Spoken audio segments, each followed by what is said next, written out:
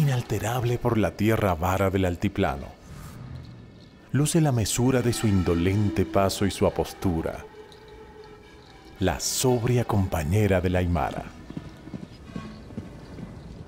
Parece, cuando lánguida se para y mira la aridez de la llanura. En sus grandes pupilas, la amargura del erial horizonte se estancara. Así cantaba las llamas el poeta Gregorio Reynolds.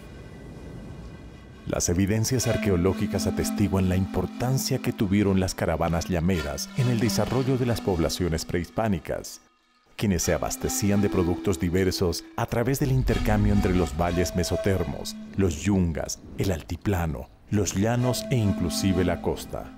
Se tienen evidencias de llamas en Chuquiago desde el periodo formativo, eso aproximadamente del 1500 antes de Cristo al 400 después de Cristo.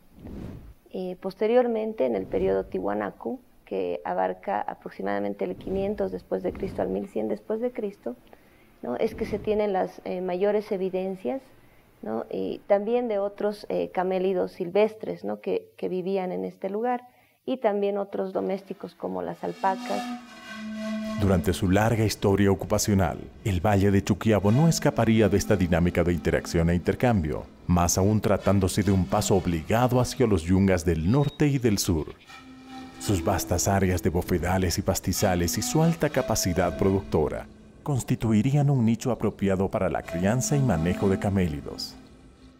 En las zonas como Jampaturia, Chachicala y Palca, aún es posible observar una infinidad de senderos troperos que recorren las áreas de pastizal hasta las zonas de corrales y las abras de acceso a los yungas. Asociadas a estas se encuentra una serie de petroglifos o grabados en piedra que grafican escenas de llamas y caravanas llameras. Las evidencias de transporte en llamas eh, quedan eh, como huellas en algunos restos óseos que los encontramos en la parte del cráneo, que son las huellas de las sogas con las que se amarraban la cabeza de las llamas para poder dirigirlas en las caravanas. Una aseveración que se ve refrendada en el hallazgo de una gran cantidad de restos óseos de llamas y alpacas, de edad adulta, las mismas que eran consumidas una vez que cumplían su vida útil en el ámbito caravanero. Paralelamente se registraría una importante presencia de artefactos empleados para el hilado, ruecas y el tejido, confeccionados en cerámica y piedra los primeros y en hueso de camélido los segundos. Tenemos también artefactos que, se han estado utilizando eh, para el trabajo de pieles, para el perforado de pieles, los perforadores, tenemos agujas, eh, bastante material que ha sido trabajado en estos huesos de camélidos para el sitio arqueológico de Miraflores hemos encontrado un área eh, impresionante, bonita, eh, donde han estado desechando estos huesos de camélidos que uno han estado consumiendo y dos han estado utilizando también para elaborar estos productos.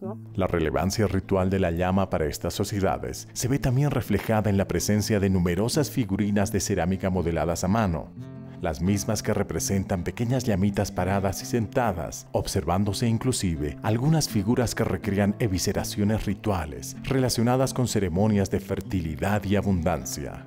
En el Valle de la Paz, la toponimia de los lugares, el origen de las palabras que hasta ahora se conservan, también nos da la evidencia de que existían zonas aptas para la crianza de llamas y alpacas.